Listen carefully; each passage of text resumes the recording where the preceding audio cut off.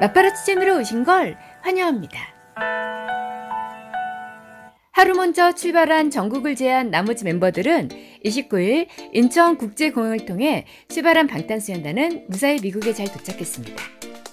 방탄소년단은 워싱턴 DC 인근 덜레스 공항을 통해 현지 시간으로 낮 12시쯤 도착했다고 합니다. 덜레스 공항 입국장에는 수십 명의 팬들이 도착 전부터 나와 대기하며 기다리고 있었는데요. 일부 팬들은 미국 입국 환영, 보라해 BTS 등의 손팻말도 준비하고 먼 발치에서라도 방탄소년단을 보기 위해 기다리고 있었는데요. 그러나 백악관 공식 초청으로 방탄소년단은 이날 일반 승객용이 아닌 VIP식으로 공항을 빠져나갔기 때문에 팬들은 아쉬운 발걸음을 돌려야 했습니다.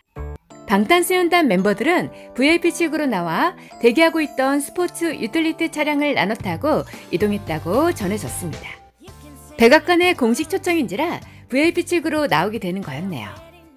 여기 서울의 하늘은 금방이라도 비가 올 것 같은 흐린 하늘인데요. 워싱턴의 하늘은 아주 쾌청합니다. 비가 도착하자마자 안녕이라며 맑은 워싱턴 하늘 사진을 올려주며 팬들에게 인사했습니다.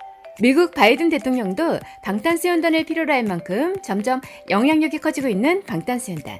일정 잘 마치고 새 앨범에서 즐겁게 만나길 기다리겠습니다.